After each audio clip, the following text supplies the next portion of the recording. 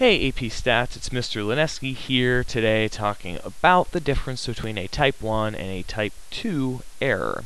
Um, before we get started, I want to remind you that a type 1 um, and type 2 error, they aren't things that you do wrong. Um, it's something that the data does wrong. So it is okay to say that we got a type 1 error or that we got a type 2 error.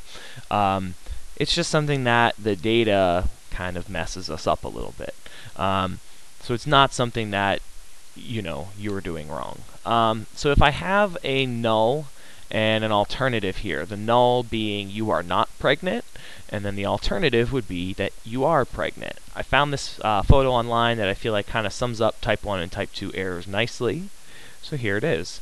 Um, a type 1 error is when we know that the null is true.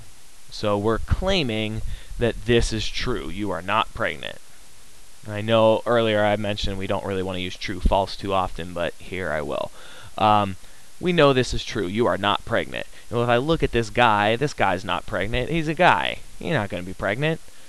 But now we have this doctor telling him, you're pregnant. So this doctor is taking a true null and he is rejecting a true null. So that is a type 1 error, when we know the null is true and we reject the true null. Um, a type 2 error comes into play whenever we say that the null is false.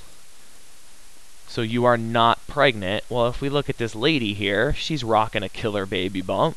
We know that she's probably pregnant, most likely. She probably is. Look how she's holding the thing. She's pregnant. Um, so this is a false null, but if we look at the doctor, the doctor is failing to reject that false null. She's telling the lady, you're not pregnant. Um, so that is a type 2 error. So hopefully this uh, figure and this little explanation helped you figure out the difference between type 1 and type 2 errors. Thank you for watching.